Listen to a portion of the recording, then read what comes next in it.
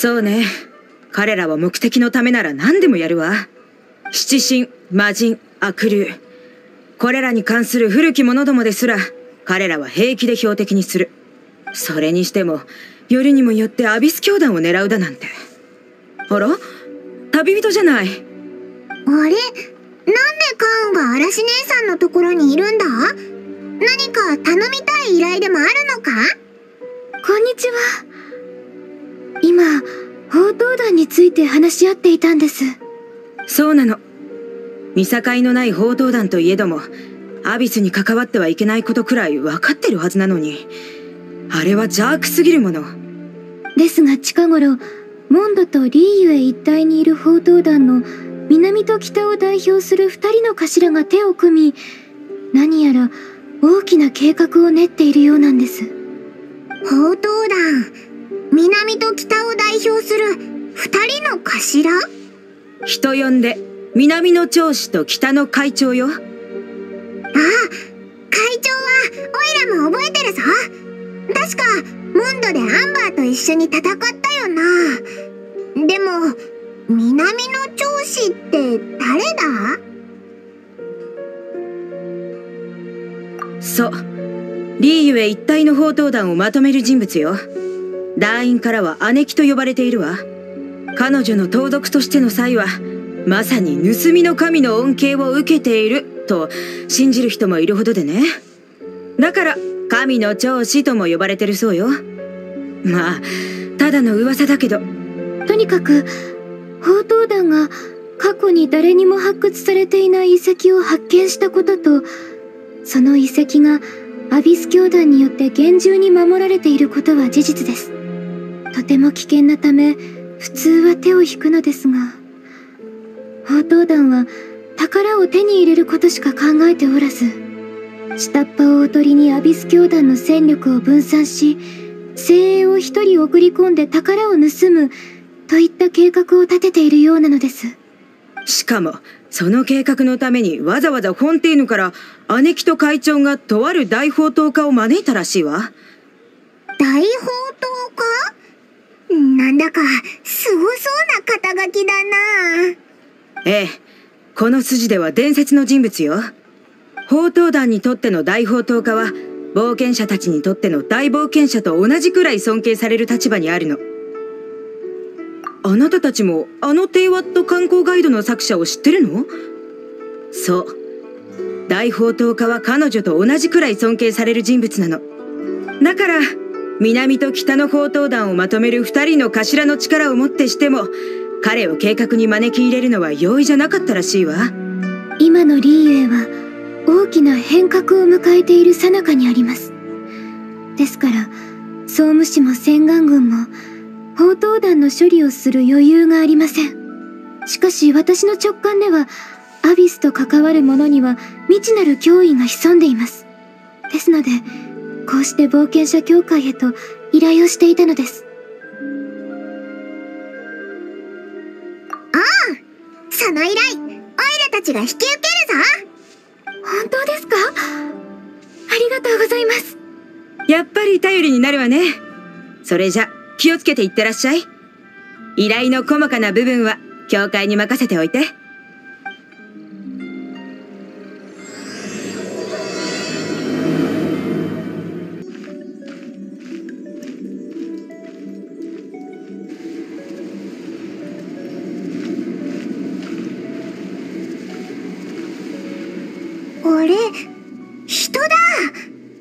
しかしてあいつが大宝刀家か？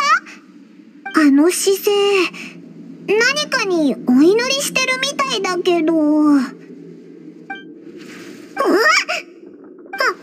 あれって。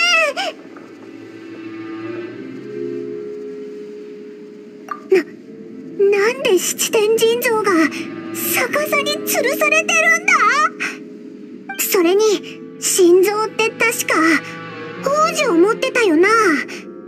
でもこの心臓の手にあるものってなんだ？うーなんか気味が悪くなってきたぞ。そこの大宝刀家も全然動かないし。ままさかもう。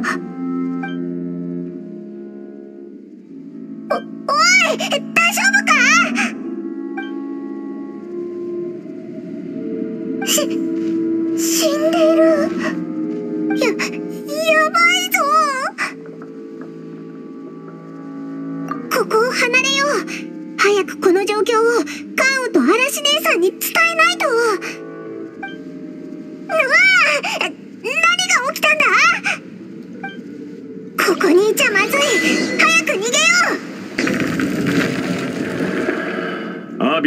費用何人たりとも除いてはならぬ。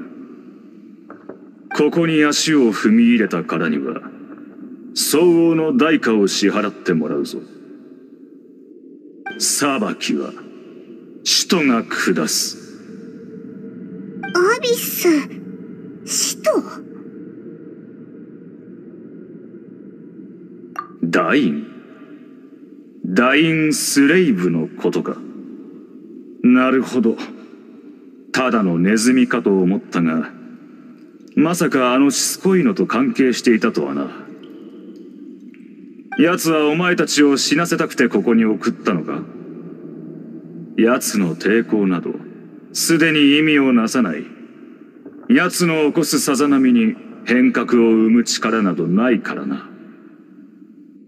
アビスを阻止するなど不可能。の地下どこかで、うん、そうか。お前はあのお方の。だとすればここに長居するべきではないか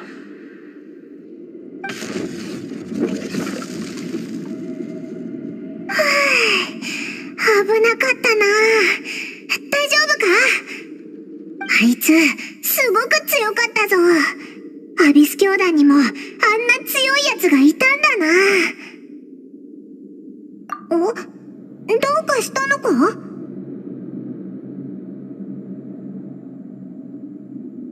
ああもう遺跡の出口はすぐそこだ早くここから出ようこんな不気味なところにずっといたらまた危険な目に遭いそうだ再会は俺が想像していたよりも早い。あないんだ。その顔何やら不気味なものにでも遭遇したようだがまさか遺跡の中でアビスの使徒に会ったか。なんでわかったんだ？俺はアビスの使徒を追跡していたんだ。もちろんここで貴様たちに会うのは想定外だったが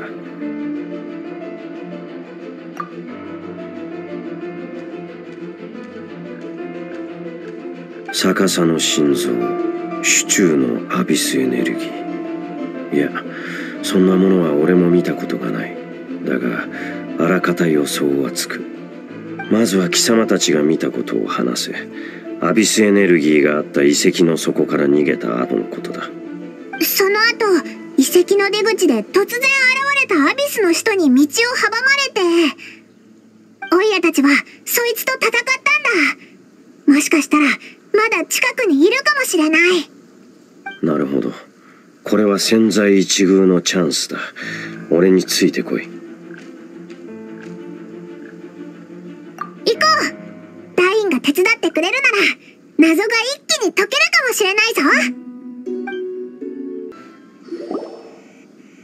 さっきのアビスの魔術師オイラたちを待ち伏せてたのか？いや奴らはただ遺跡守衛の残骸から何かを探そうとしていただけだ。そうなのか。おそういえば旅人もよくそうやって探してるよな。混沌の装置とか混沌の回路とか。少なくともそのような平凡なものではない。俺がこの近くを調査していたのはアビスの魔術師がこの遺跡を頻繁に出入りしていたからだ。奴らは遺跡守衛の残骸からある特別な貴重品を探しているらしい。それを遺跡へと持ち帰ろうとしているようだ。しかしあの様子を見るにまだ見つかっていないようだな。じゃあどうしてさっき捕まえて詳しく聞き出さなかったんだ？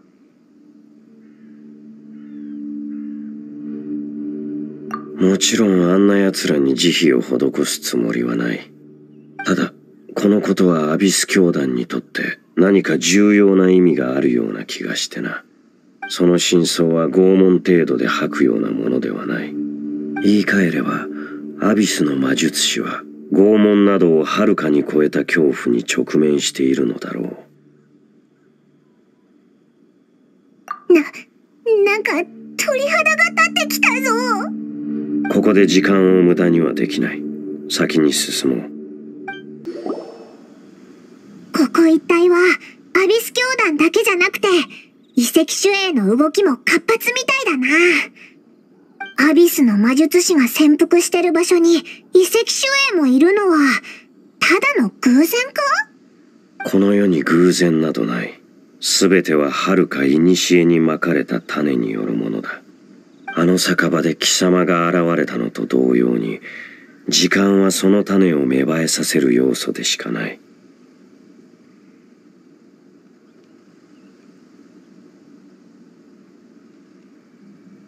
気にする必要はない。アビス教団と遺跡守衛の関係ももちろん偶然によるものではない。同じ樹木より生えた枝と言ってもいいだろう。樹木？枝それって。奴らは皆500年前に滅びた古国カーン・ルイヤで誕生したんだ。え？カーン・ルイヤだって？そうか。アビス教団と遺跡守衛はカーン・ルイヤが滅びた後の残党だったってことか。でもカーン・ルイヤってすごく古い国の名前だぞ。あそうだ旅人にも説明しなきゃな。カーン・ルイヤっていう国は。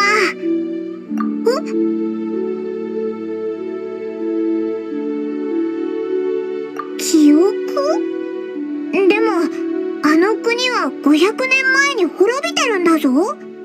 ふん。人は誰しも秘密を抱えている。貴様が俺に深く聞かなかったように俺も貴様のことを深く聞くつもりはない。しかし貴様に話す意志があるのならば聞こう。貴様が見たカーン・ルイヤとはどんな光景だった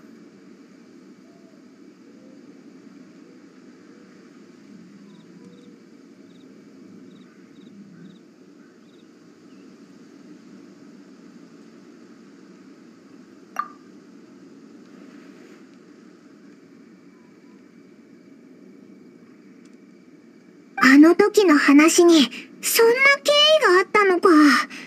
おいらはてっきり、話の始まりは見知らぬ神との遭遇からかと思ってたぞ。ふん。この世界に来た時、隕石の中から妹に呼び覚まされたのか。どうやら、妹さんの方が先に目覚めてたみたいだな。どれくらい先だったかはわからないけど。そして貴様の妹は、カーン・ルイヤの滅亡が天変地異を引き起こすと言い、一緒にテイワットを去ろうと、そう言ったのだな。カーン・ルイヤの滅亡？本当にそんなこと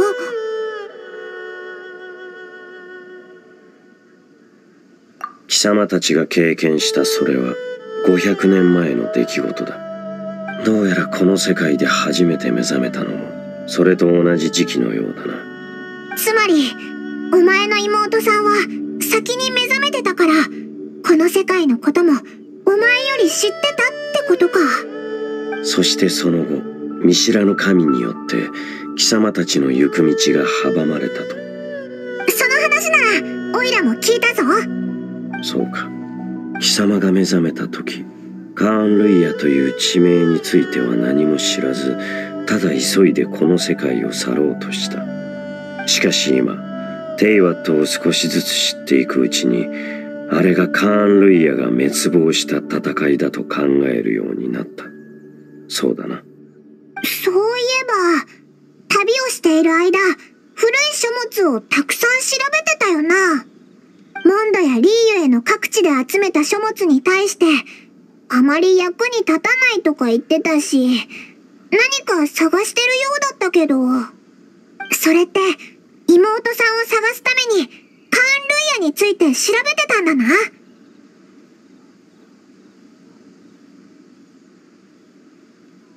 なるほどな。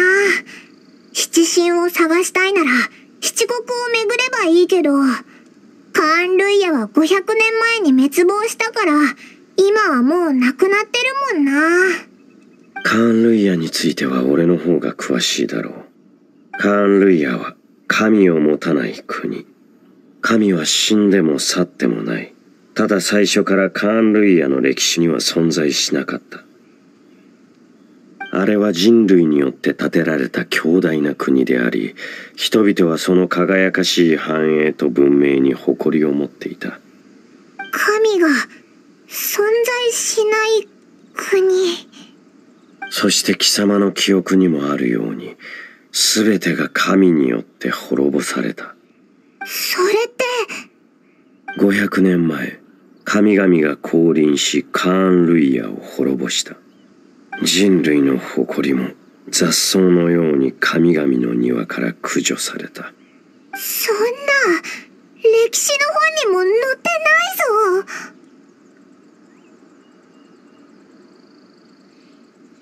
ふんこのまま過去のことを話しても気がそがれるだけだろう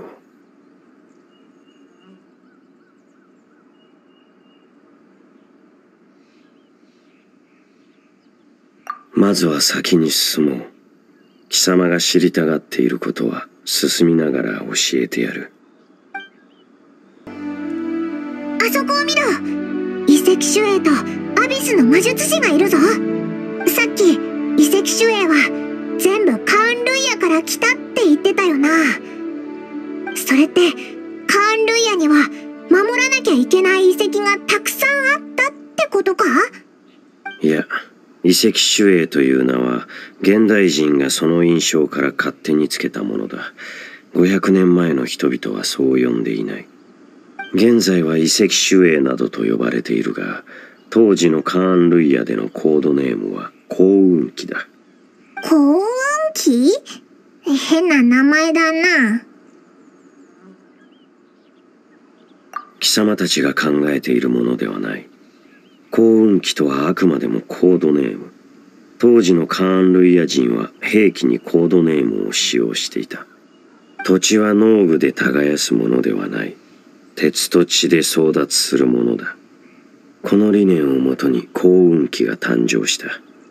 鉄と血で土地を争奪？カーン・ルイヤ人が言う土地ってなんだか不穏な雰囲気がするな。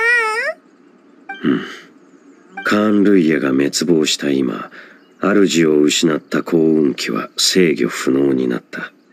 長い時をさまよいこのテイワット大陸に点在している。他の滅びた文明と共鳴するかのように古代遺跡の中をただたださまよっている。なんかかわいそう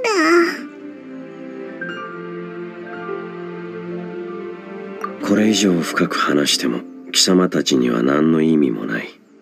何はともあれ今の奴らは脅威だ。全て片付けた方がいいだろう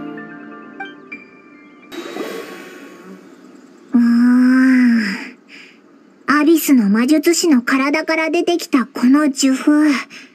もしかして何かのメッセージか？ふん。この気配アビスの使徒と関係しているようだな。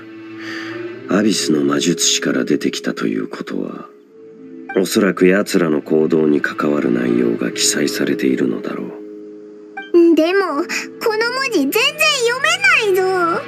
カーンルイヤの文字なのか？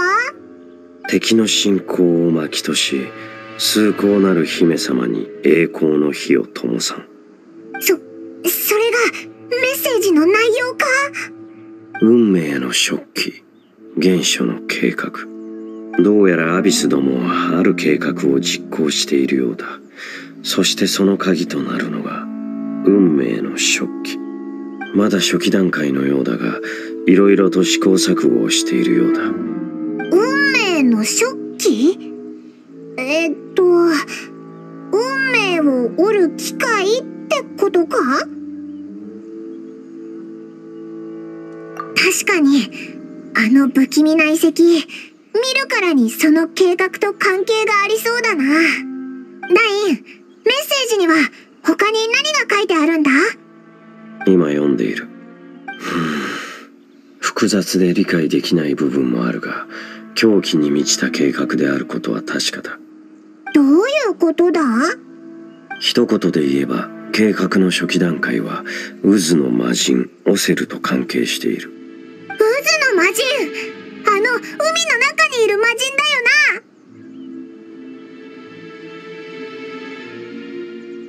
なでも、オセルに何をしようとしてるんだろう？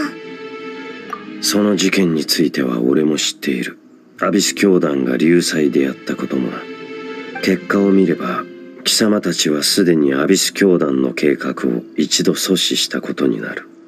この前は神の眷属で、今回は古の魔人か。ああ、標的がどんどん大きくなってるぞ。アビスは今回も、トワリンの時みたいに、騙したり魔術を使ったりしてオセルを腐食させようとしてるのか？いやこのメッセージによれば今回の計画はさらに進んだものだ。精神の改造に限らず幸運機を製造する技術によりオセルの肉体を改造しようとしている。そそんなことできるのか？まさかアビス教団のやつら究極殺人兵器機械魔人イカを作ろうと今となってはカーン・ルイヤの文明を知る者は少ない。それがどの程度のものか判断するのも難しいだろう。だがアビス教団がカーン・ルイヤの失われた文明を追い求めその意志と執念だけで動いていることは確かだ。どうやら汚れた逆さ心臓をもとにオセルの体を機械魔人に改造するとこのメッセージには書いてある。そして最古の幸運期の目は心臓の手のひらにあるエネルギーの新たなコアとなるようだ。最古の幸運期の目？あおいらわかったぞ。アビスの魔術師がずっと探してたのはそれだな。そうだ。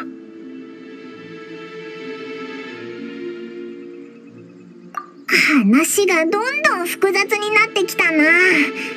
でもやっぱりあの不気味な七天神像と関係があったってことだな。ああメッセージによればその目を汚れた逆さ心臓の手のひらに置けば天空の島にあるカムクラを揺るがす力を新たに誕生した魔人に与えることができる。うんこの計画スケールが大きすぎてわけがわからないぞ。でも最古の幸運期がどこにあるのか誰もわからないんだよな。だったらまずは心臓から調査してみるのはどうだ？ああ金融野郎はいつも場所を転々としてるからセピロス教会に聞いた方が早いだろうな。何かわかるかもしれない。大聖堂か。ダイン？どうかしたのか？気にするな。先を急ごう。巨大な心臓壮大な大聖堂。モンド人がこれらを作るのにどれだけの資源とエネルギーを費やしたことか。しかしそんな贈り物を受け取った風神は一体どれほどの見返りを渡したというのだ？信仰は見返りを求めないものだろう？神がそれでいいと思っているのなら何も言うまい。しーもうすぐ大聖堂に着くんだから風神の悪口はやめといた方がいいぞ。それに風神も実はあえっとな、なんでもない。俺は元から大聖堂に入るつもりはない。シスターと話す役目は貴様たちに任せる。え貴様はモンド城の栄誉騎士だ。深く信頼されている。この役は貴様が適任だろう。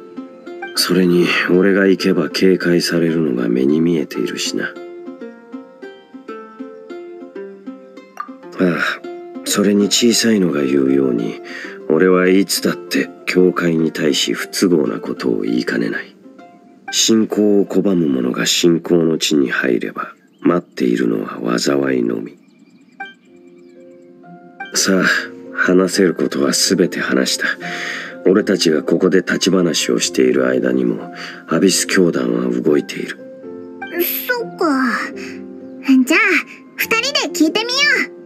それと汚れた逆さ心臓については教会の人間に言わない方がいい。心臓のこととなればセピロス教会も黙ってはいられないだろう。しかし奴らが手を出しても邪魔になるだけだ。それに誰であろうとアビスと関わったら最後いい結末を迎えることはない。栄誉騎士こんにちは。元気にしてた？今日はどうしてここに？あ先に言っておくけど天空のライアーは貸せないからね。どうやら現実はバレてないみたいだな。オイラたちは情報収集に来たんだ。最古の幸運期って聞いたことあるか？幸運期さあ何に使うもの？うーんやっぱり知らないか。じゃあ質問を変えよう。教会は過去に七天神像をなくしたことはあるか？え？あなたたち歴史について聞きに来たの？すごく意外。とっても昔のことだからそのことについて話す人はもうほとんどいないんだけど。遠い昔確かにとある七天神像が一夜にして消失したことがあるのそれも何の痕跡も残さずにね。当時教会にいる人たち全員で捜索したらしいんだけど結局見つからなかったんだって。後にこの怪奇事件は失われた七天神像って呼ばれるようになったの。うーん。やっぱり。やっぱり？ああな他に何かあるか？そのあ変わった出来事とか。バーバラには悪いけどまだ心臓のことは話せない。バーバラの安全のために。変わった出来事？えっと教会に記録されてるものだと暴君の遺恨とかかな？でも時期的にはその七天神像とはあまり関係ないかも。暴君の遺恨？その変わった出来事は今では風流廃墟と呼ばれるようになった旧モンドで起こったの。あの時はすごく危険だったんだって。誰かがそこに近づくと天から火の玉が降り落ちてきたらしいよ。天から火の玉？それは怖いな当時の人々はそれを竜巻の魔人の呪いだと思っていて暴君の遺恨と呼ぶようになったの。その奇妙な現象が1年続いたんだけど解決できなくて結局時間が経ったら自然と消失したんだって。うん。後になって教会も暴君の遺恨と竜巻の魔人の関係を否定してるの。だって竜巻の魔人は火の玉を吹けないもの。あの災いはおそらく他に原因があったんだと思う。けどこのことは多分失われた心臓と関係ないかな。他の変わった出来事については私も知らないよ。わかった。ありがとう。ありがとう。何やらまた面倒ごとの気配がする言葉が聞こえたわね。あロサリアさんこんにちは。騎士団を探してるなら無駄足よ。あの魔物たちがまた現れたの。あの魔物たち？風魔流の混乱に乗じてモンド城に攻め入ろうとしてきた魔物のことよ。それってアビス教団のことじゃないか？あいつらが現れたのか？ええ。すでに放浪寮に集まってるわ狼たちもピリピリしてる。もしかしたらアビス教団はボレアスの残魂を狙ってるのかもしれないわね。目的に関しては私もわからないけどジン団長がすでに向かっていて私も裏で動く予定よ。じゃ、じゃあ、私も行く！君は教会に残りなさい。ジン団長からのお達しよ聖職者としての本職を忘れないようにで、でもあなただって聖職者でしょ？ああおいらたちも、ジン団長の手助けに行くぞわかった。栄誉騎士がそこまで言うなら。でも、お願いだから気をつけてね。風神の加護があなたたちの安全を守らんことを。なるほどアビス教団に新たな動きがあったと。汚れた逆さ心臓と関係があるのかもしれない。俺たちもそこに向かおう。でも、アビス教団は放浪寮で何がしたいんだ？まさか、トワリンの時みたいなことを？うーん、もう災いは起きてほしくないぞ。いやそれはない。鎮圧されたオセルとは違って魔人アンドリアスはとっくに死んでいる。今放浪領を守っているのはただの残魂だ。アビスの使徒がその残魂を標的にしたのは風神の眷属から情報を聞き出そうとしているだけかもしれない。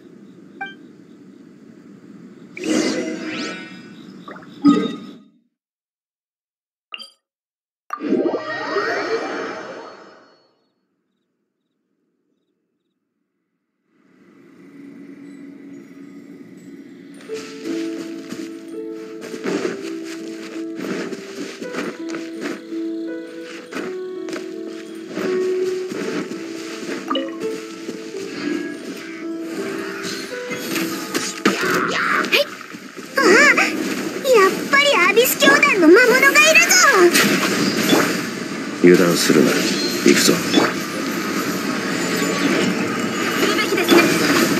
痛いから我慢しろよ。はっ。ほっ。たっ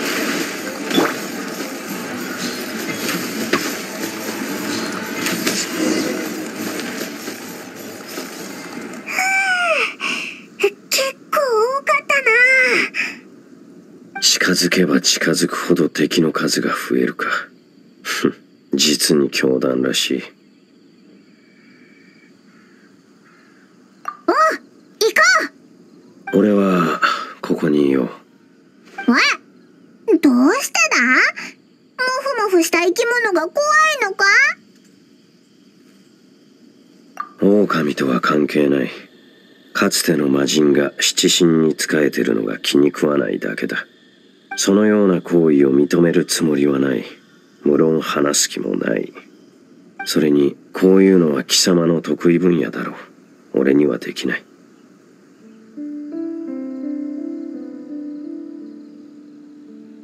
神は当てにならない。俺の個人的な意見だと思って聞くがいい。いいか。神に対していつどんな時でも警戒を怠るな。奴らを信じきるな。そして散奪や強行の道にも落ちるな。たとえ貴様が対峙したあの憎き敵であっても。神を信じるなとか強行の道に落ちるなとか矛盾した考え方だよな。過去の教訓だ。最後に事実を一つ教えてやろう。なんだ？カーン・ルイヤは神によって滅ぼされた国そしてそれがアビス教団が七神の国を滅ぼしたいと思っている理由だ。話はここまでだ。今は優先すべきことがある。俺は残りのアビス教団を片付ける。貴様も手っ取り早く終わらせろ。ことが終わったら放浪寮の入り口で合流だ。ああもう行っちゃったぞ。本当におかしな人だな。ああ前も見知らぬ神のことを警戒してるもんな。リーユへのゲーセン儀式の時もダインと似たような選択を取ってたし。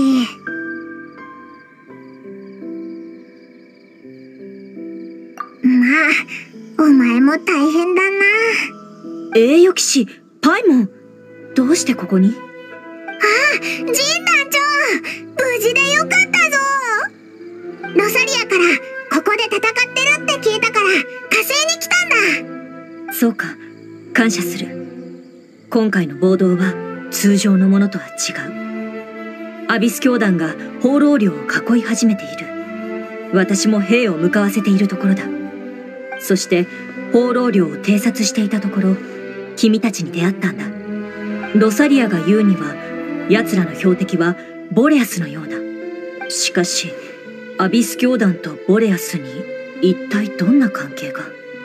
単純に面倒を起こしたいだけなんじゃないか？ほらアビス教団はトワリンにもちょっかいを出しただろ風神の眷属にもう一回手を出してもおかしくないと思うぞ。確かに一理ある。とにかくこの辺り一帯の脅威は全て私が引き受けよう。栄誉騎士君は王老のもとへ向かって状況を確認してきてくれないか。魔人の残魂。めったにお目にかかれないが君はそれに合ったことがあると聞いた。君が適任だと私は思う。うん。気をつけてくれ。後のことは任せた。セピロスの栄誉騎士。あそこ見ろ。レザーだ。あとアビスの使徒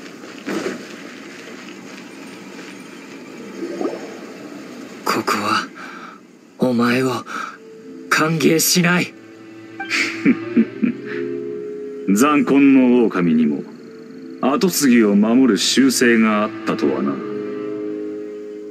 防衛のためか。しかしその実力魔人の足元にも及ばぬ。我々に服従すれば神に匹敵する力を得られるだろう。過去のようにな。されことを何の儀式だ？苦しそうだぞ。トワリンの時と同じ。腐食か？狼は屈しない。でもこれ以上は。何度やろうと無駄なあがきだ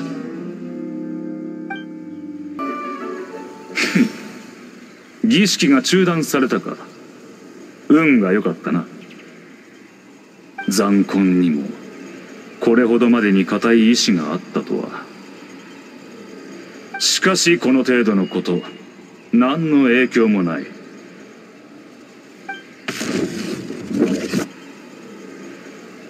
た消え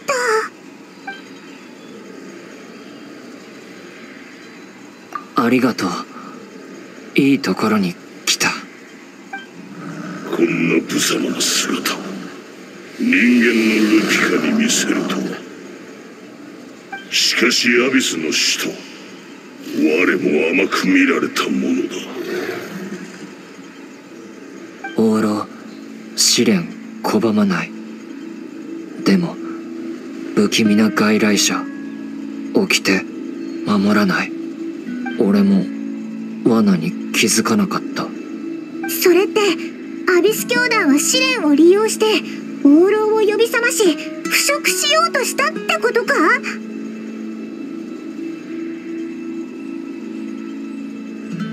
ありがとう。俺の爪もっと強くなるお前たち危険な匂いたどってここにいやオイラたちは話を聞いてここに来たんだ。鼻はそんなに良くないからな。助けに来たついでに質問させてくれ。そのこちらの魔人伝は最古の幸運期を知ってるか？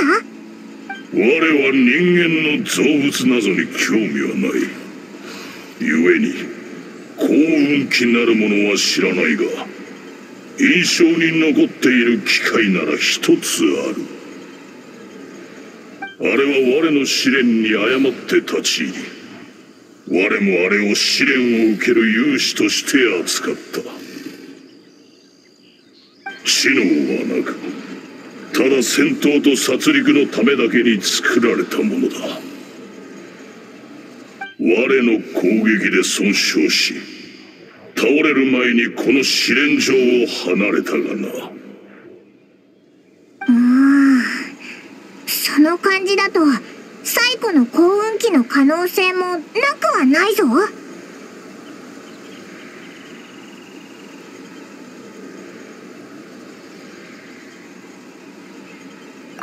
ミサイル？いやさっき言ったように人間の造物には興味がない。そのような言葉我にはわからない。回転と跳躍そして火の束を放つ。力は魔人には及ばないが神の目を持つ者より上だ。火の玉？なんかかで聞いたような。とにかくこれって最古の幸運期はモンドに来たことがあるってことだよな。しかも最古の実力は他の量産型の遺跡守衛よりもだいぶ強いものみたいだ。でもこの話によると狼の試練で損傷してるみたいだな。役に立った。大助かりだ。ありがとう。オイラたちは重要なことを調べに行くぞ。アビスの使徒が離れたとはいえ教団の攻撃はまだ止んでないから。お前たちも気をつけろよ。うん。もっと危険な匂いある。お前たちも気をつけろ。すごい情報が手に入ったな。早くダイに知らせようそうだ。ダインは神団長に会ったか？見かけたが会わないように避けた。彼女は志垣氏であり代理団長でもある。俺を警戒している。気をつけなければ彼女の調査対象になってしまうだろう。ところで魔物は片付けたが情報はなかった。そっちは何か収穫があったか？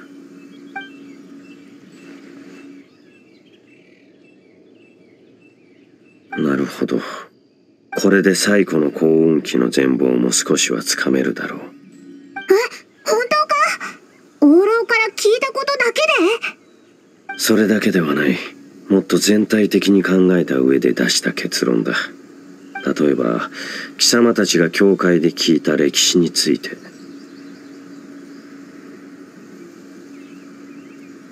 そうだそのシスターから聞いた暴君の遺恨に関する事件だオイ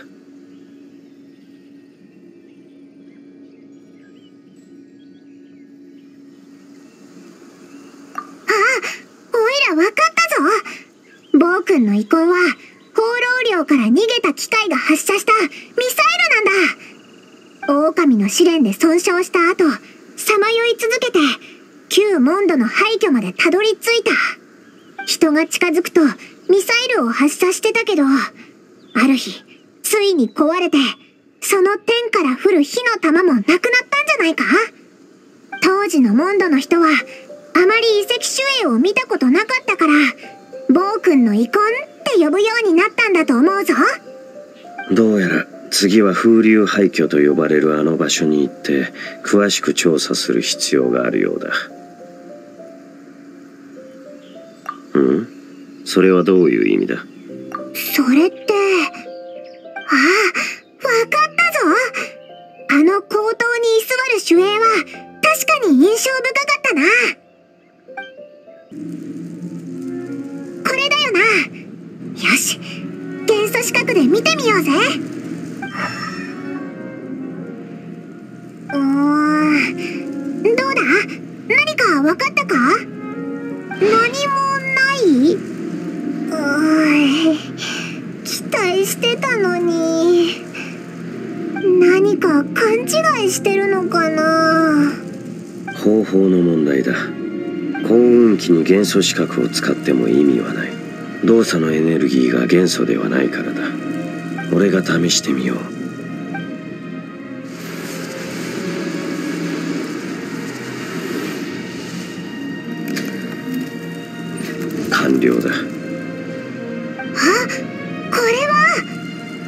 ビスの人がずっと探していた最古の幸運期の目だ。今まだ残っている遺跡守衛は全てこのプロトタイプのレプリカ。その戦闘力は計り知れない。プロトタイプ？難しい単語だな。関類野の用語か？アビス教団の思惑通り目を汚れた逆さ心臓の手に置けば渦の魔人オセルの死体をつなぎ機械魔人を創造することで天空の島にあるカムクラを揺るがす力を新たに誕生した魔人に与えることができる。はじゃあこの目はどうするんだ？あ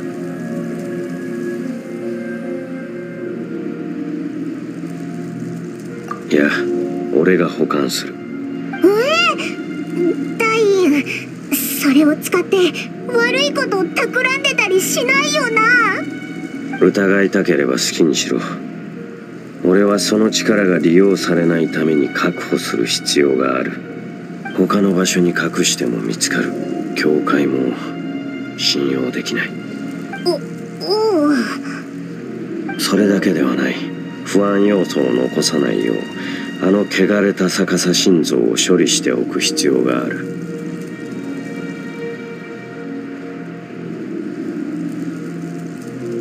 教会に介入させるつもりはない。俺たちだけで終わらせる。処理とはつまり破壊することだ。破壊？あの七天神像を？価値のある文化物だぞ本物の神が？あえーとバーバラが知ったら今度こそ失神するぞ！七神のものを俺が守る義務があるのか？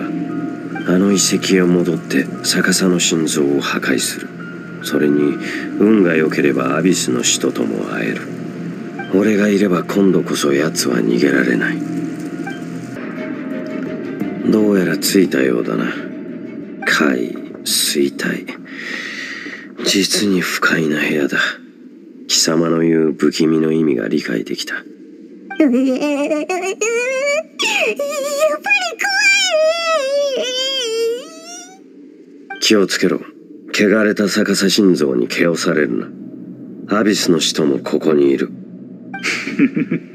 やはり勘が鋭い。相変わらずしつこいな。教団の敵。ダインスレイブよ。その体から漂う恐ろしい血生臭さ。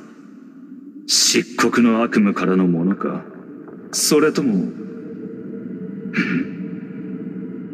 なるほど。実に危険だ。この腐敗の匂いよく知っている。どうやらお前も我々と同じ危険なものであるようだ。しかし教団以外の危険は檻に閉ざされているはず。ちその下腐敗しきっているようだな。切り落とす。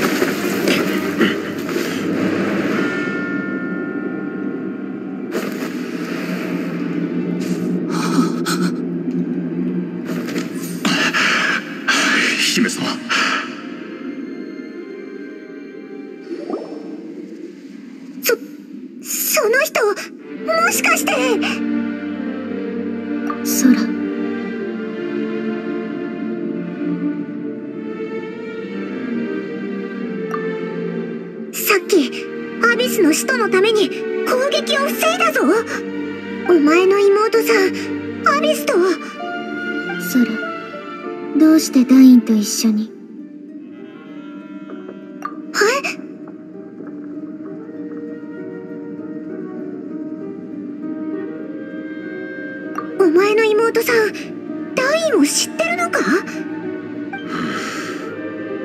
ホタルまた会ったな。どういうことなんだ？ダインが妹さんの名前を知ってるぞ！ソラその人と一緒にいちゃダメ。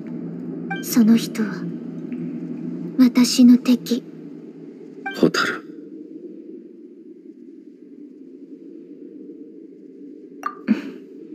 これは言わなきゃいけないことなのソラ。ダインと一緒に私をアビスを阻止しないで。その人ダインスレイブは最後のカーンルイヤ宮廷親衛隊真っ向の剣。500年前彼はカーンルイヤの滅亡を阻止できなかった。その時に不死の呪いをかけられ荒野をさまよった。彼が守ろうとした民がアビスの怪物になるのを見ながら。ダインがカーンルイヤ人だって？500年前に滅びたあのカーンルイヤ人？それに民が怪物になるって。今のアビス教団はカーンルイヤと関係があるどころかカーンルイヤの移民だったのか？うぅダインはお前の敵って何が何だかわからないぞ。いえ。うん。もちろん空がいる場所が家だよ。でも私はまだ空と次の世界に行けない。少なくとも今は。できない。アビスがカムクラを下す前にまだ天理との戦いが残ってる。聞いて空私はすでに一度旅をした。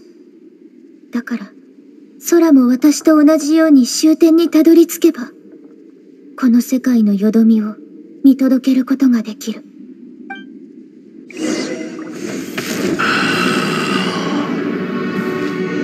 私たちはいずれ再会する。急ぐことはないよ空待つだけの時間が十分にある。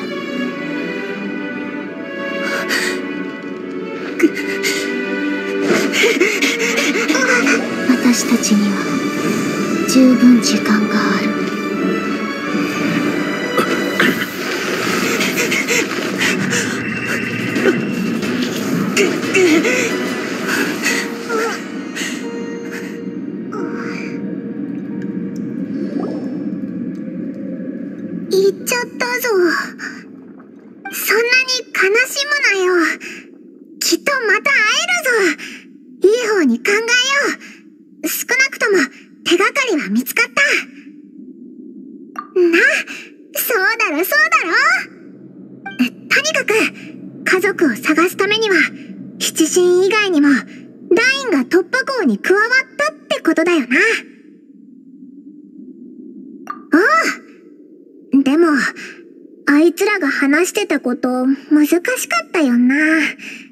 全部理解できたか？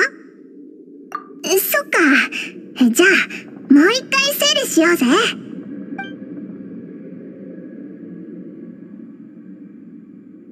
まずは、あのアビスの使徒。お前の妹さんを姫様って呼んでた。お前の妹さんは、アビス教団を率いてて、アビスの使徒よりも地位が高いってことだな。一番高いかどうかはわからないけど。それと、お前の妹さんが、カムクラを下し、天理と戦うのが目的だって言ってたけど、どういう意味なんだろう？七神と七国を滅ぼすってことなのか？あと、アビス教団の怪物は、カーンルイヤの民が、歪んでできた化け物だった。これは恐ろしいことだぞ。ダインはカーンルイヤ人で、500年前に全てを経験した。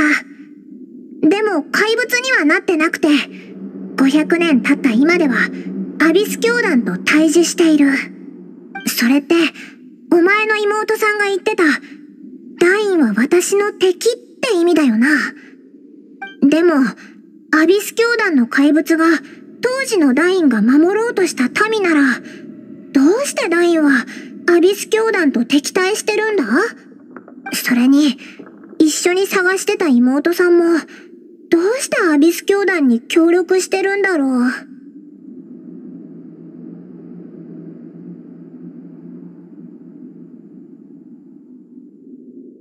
おお、そうだな。ひとまず、元気出していこうぜ。オイラたちの旅は終わってない。出発しよう。こんな嫌な場所から出て、日差しの差す明るい地上へ。お前の妹さんが終点にたどり着けって言うなら、たどり着いてやろうぜ。旅人、一緒に行こう